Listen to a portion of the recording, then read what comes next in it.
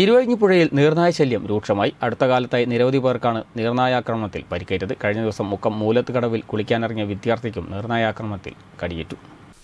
ഇരുവഴിഞ്ഞിപ്പുഴയിലെ അതിരൂക്ഷമായ നീർനായാക്രമണത്തിലാണ് ജനങ്ങൾ പൊറുതിമുട്ടിയിരിക്കുന്നത്. കഴിഞ്ഞ മൂന്ന് വർഷത്തിനിടെ ഇരുവഴിഞ്ഞിപ്പുഴയുടെ ഇരുകരകളിലുമുള്ള മുക്കം നഗരസഭ കാരശ്ശേരി കൊടിയത്തൂർ ചാത്തമംഗലം പഞ്ചായത്തുകളിലായി ഇരുന്നൂറിലധികം പേർക്കാണ് നീർനായയുടെ ആക്രമണത്തിൽ പരിക്കേറ്റത്. ഇരുവഴിഞ്ഞിപ്പുഴയിൽ കുളിക്കാനിറങ്ങിയ വിദ്യാർത്ഥിക്കും കഴിഞ്ഞ ദിവസം കടിയേറ്റു. മുക്കം ഓർഫനേജിന് സമീപത്തെ മൂലത്ത് കുളിക്കടവിൽ വൈകിട്ട് അഞ്ചര മണിയോടെ കൂട്ടുകാരോടൊപ്പം കുളിക്കാനിറങ്ങിയ ചോലയ്ക്കൽ വീട്ടിൽ രതീഷിന്റെ മകൻ അജിലിനെയാണ് നീർനായ കടിച്ചത് ഇരു കാലുകളിലും നീർനായയുടെ കടിയേറ്റിട്ടുണ്ട്. നീർനായകളുടെ കൂട്ടമായുള്ള ആക്രമണം മൂലം ജനങ്ങൾ വലയുമ്പോഴും പ്രശ്നത്തിന് ശാശ്വത പരിഹാരം കാണാതെ വനം വകുപ്പ് ഇരുട്ടിൽ തപ്പുകയാണ്.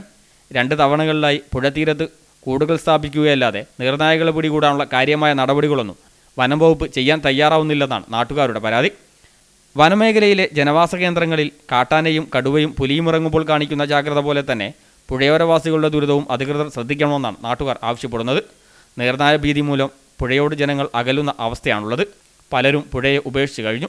ഇരുവഴിഞ്ഞി പുഴയിൽ കുളിക്കാനെത്തുന്നവരും മീൻ പിടിക്കാനെത്തുന്നവരും വളരെയധികം കുറഞ്ഞിരിക്കുകയാണ്. നിർണായകളുടെ ആവാസ മേഖലകൾ നിരീക്ഷിച്ച് പുഴയിൽ നിന്നും പൂർണമായി ഒഴിവാക്കാനുള്ള ശ്രമങ്ങളാണ് ഉണ്ടാവേണ്ടത്. ഇതിനായി വിദഗ്ധ സംഘത്തെ നിയോഗിക്കണമെന്നും നാട്ടുകാർ ആവശ്യപ്പെടുന്നു. പലപ്പോഴും ഒറ്റയ്ക്ക് കാണപ്പെടുന്ന നീർനായിയാണ് ആക്രമിക്കുന്നതെന്നും പുഴയോരവാസികൾ പറയുന്നു. വെള്ളത്തിനടിയിലൂടെ ഊളിയിട്ട് വരുന്നതിനാൽ ആക്രമിക്കാനെത്തുന്നത് കാണാനാവില്ലെന്നും പരിക്കേറ്റവർ പറയുന്നു. ചെറിയ കുട്ടികളെ കാലിൽ കടിച്ച് വെള്ളത്തിലേക്ക് വലിച്ചിഴച്ച സംഭവവും ഉണ്ടായിട്ടുണ്ട്. ജനങ്ങളുടെ ജീവന് ഭീഷണിയായി സ്വൈര്യവിഹാരം നടത്തുന്ന നീർനായകളെ ഏതുവിധേനയും ഒഴിപ്പിക്കാൻ അധികൃതർ തയ്യാറാവണമെന്നും അല്ലാത്തപക്ഷം ശക്തമായ പ്രക്ഷോഭം നടത്തുമെന്നും നാട്ടുകാർ പറഞ്ഞു. ഫസൽ ബാബു സി പ്രാദേശിക വാർത്ത.